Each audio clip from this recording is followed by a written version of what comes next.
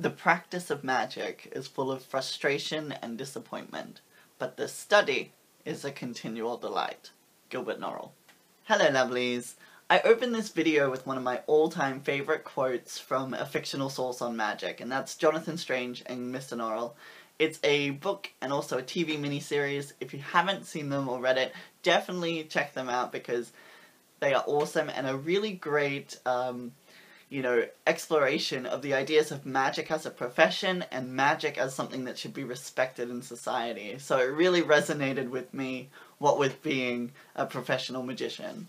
In my magic practice, though, I have no qualms with using sources that are fictional rather than what we might consider academic. And so to open with a quote on magic from a fictional source, I feel is, is really relevant to what I'm going to get at here. As you can see from the title, I'm going to be talking about words, gestures, and components. These are an idea that was put forward to me when I was very young, and I had a copy of what was called a starter kit for wizards. This was a cute little booklet that came in like a little box pack, and it had a hat and a cape with silver stars on them. And if someone had told me about the Argentum Astrum, I probably would have died then. But I digress so I had this little book that sort of gives you all the information that you're gonna need as an apprentice wizard going off to your first year in, you know, wizard school. And there was a chapter in that book that spoke about spellcrafting. And I remember being really young and it really resonating with me and thinking, oh my gosh, this is, you know, revolutionary. And they were talking about words, gestures, and components as the three things that are required to do magic or to perform a spell it was only a few years ago, while I was uh, getting into Dungeons and Dragons, the role playing game, that I realized where these ideas were actually sourced from. And of course, the um, the rules of magic within Dungeons and Dragons requires either a verbal, somatic, or material, uh, you know, component of that spell. Like I say, this is something that stuck with me from a very early age reading it in this book. And now that I'm a little bit older, a little bit wiser, I can sort of implement those ideas in my spellcrafting, and that's what I wanted to share with you guys today. I've read quite a few books on spells or with spells in them, books of spells, and the the spells that are most beautiful to me, the ones that seem to work the best for me, are always the ones that incorporate these three things in a nice, even flowing way. Now this this process of spellcasting may be more geared toward the uh, energetic model, but I think you could still apply these same principles across the board, regardless of your paradigm of belief.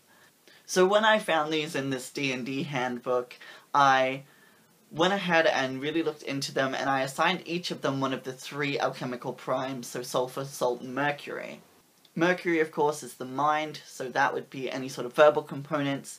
You've got the sulfur, which is the somatic, the movement, the gestural, and then you've got the salt, which is the physical and the material components that are used in the spell. Now before I go ahead and break down each of these three terms, I do want to talk about some other aspects of spellcrafting that I think are really important. Um, so I just want to throw those out there before we get into those. So once you've got your intention worked out and you know what kind of spell you're wanting to cast, the first thing you should look at is auspicious timing. Try to have a look at, you know, planetary days and hours, uh, any planetary retrogrades. You might like to look at the moon phase or the season, whatever sort of um, things make timing most auspicious in your paradigm of belief, and work within that so that you can get the fullest, um, you know, fullest boost from the time that you cast your spell as well. This use of timing is part of what I would consider to be saturation. So this is ultimately the goal that you're trying to achieve when putting together your spell. When a magician casts a circle, they're creating a little universe where, where they're like God.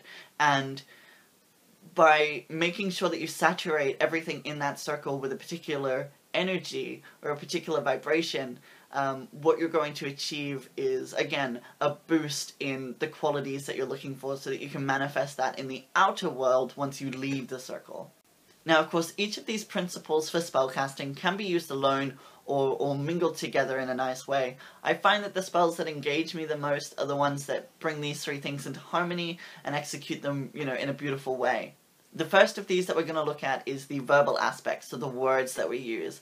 These can be rhyming chants, they can be songs, they could be prayers or orations, they can be an address to a deity, all of these sorts of things. I would say as well that they can be as simple as trigger words. So a single phrase, a single word, um, something like so mote it be, which is pretty common, um, to, to execute the finality of the spell. The second thing, of course, would be the gestures, the movements. I think in sort of the Eastern systems, these might look something like mudras, but I mean, the Western um, esoteric system definitely has a unique set of salutes and movements that they have as well.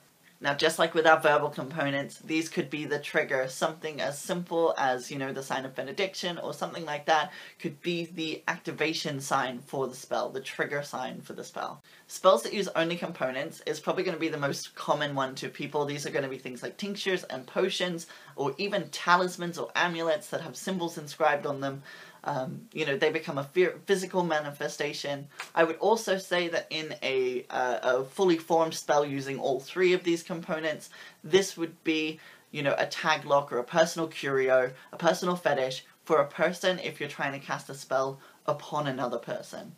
So in my opinion, I definitely think that a well-crafted spell should bring all of those three things into unity in a really beautiful way, using language and gestures and components that are resonant to the spell's intention. Of course, this is just my interpretation based on a fictional source that I enjoyed and the magical system that they implemented in that. I think it's a really fun way to sort of pick apart a spell to sort of see how the gears in it move. There are other things, of course, that I think are important in spellcasting. Things like restrictions and things like that. Um, you know, so this isn't by any means a definitive approach to spellcasting, but I think it's really nice principles to make sure that you're incorporating whenever you're trying to put a spell together and find those working pieces.